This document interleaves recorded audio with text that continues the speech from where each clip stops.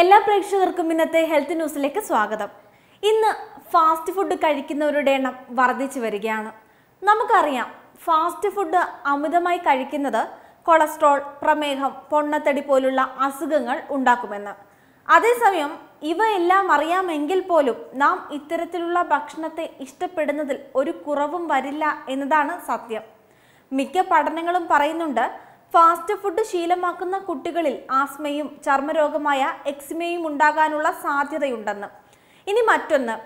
സിനിമകളിലൊക്കെ നാം ഈ വില്ലൻ കഥാപാത്രങ്ങളെ കാണാറില്ലേ? എന്നാൽ സിനിമകളിൽ മാത്രമല്ല വില്ലന്മാർ ഉള്ളത് നാം കഴിക്കുന്ന ഫാസ്റ്റ് ഫുഡുകളിലും ഇത്തരത്തിൽ വില്ലന്മാരുണ്ട്. പിസ ബർഗർ സാൻഡ്വിച്ച് തുടങ്ങിയ ഫാസ്റ്റ് ഫുഡുകളാണ് ഇവയിലെ പ്രധാന വില്ലന്മാർ. ഇവയിൽ പൂരിത കൊഴുപ്പുകൾ പ്രതിരോധ ശക്തിയെ ബാധിക്കുന്ന ട്രാൻസ് ഫാറ്റി ആസിഡുകൾ എന്നിവ അടങ്ങിയിട്ടുണ്ടെന്ന് ഗവേഷകർ പറയുന്നു. ആസ്മ എക്സിമ ചൊറിച്ചിൽ കണ്ണിൽ നിന്ന് വെള്ളം വരിക എന്നിവയും ഇതുമൂലം ഉണ്ടാകുമെന്നാണ് കണ്ടെത്തൽ.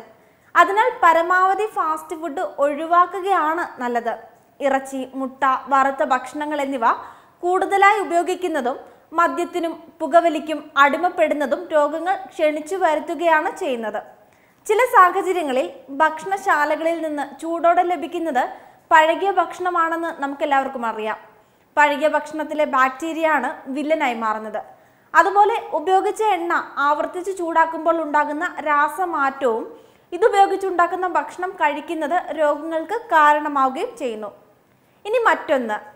പകലുറക്കം വ്യായാമമില്ലായ്മ അരിയാഹാരവും മാംസാഹാരവും തുടർച്ചയായി ഉപയോഗിക്കുന്നതും ജീവിതശൈലി രോഗങ്ങൾക്ക് കാരണമാണ്. സ്ഥിരമായി ഫാസ്റ്റ് ഫുഡ് കഴിക്കുന്ന സ്ത്രീകളിൽ ഗർഭധാരണം വൈകാമെന്നും പഠനങ്ങൾ പറയുന്നു. ആഴ്ചയിൽ രണ്ടിൽ കൂടുതൽ തവണ ജങ്ക് ഫുഡ് കഴിക്കുന്ന സ്ത്രീകൾക്ക് വന്യതാ പ്രശ്നങ്ങൾ ഉണ്ടാവാൻ സാധ്യത ഏറെയാണെന്ന് പഠനം വിശദീകരിക്കുന്നുണ്ട്.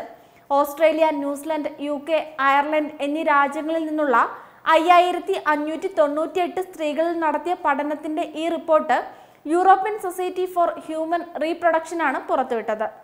ഇനി മറ്റൊന്ന്.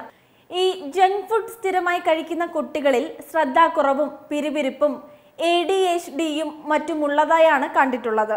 മിക്ക കുട്ടികളിലും പരീക്ഷയിലെ പ്രകടനം മോശമാകുന്നതും ഇതുമൂലമാണ്. ശ്രദ്ധ കിട്ടാത്തതിനാൽ സമയത്തിന് എഴുതി പൂർത്തിയാക്കാൻ ഈ കുട്ടികൾക്ക് സാധിക്കാറില്ല. എ ഡി എച്ച് ഡി ഉള്ള കുട്ടികളുടെ ചികിത്സയിൽ ഇത്തരം ഭക്ഷണങ്ങൾ ഒഴിവാക്കാറുണ്ട്. ഇതുമൂലം വളരെ പ്രകടമായ വ്യത്യാസം കാണുന്നതായി മാതാപിതാക്കൾ തന്നെ പറയാറുമുണ്ട്. എന്തായാലും ഈ വീഡിയോ നിങ്ങൾക്ക് ഉപകാരപ്രദം തന്നെയാണ്.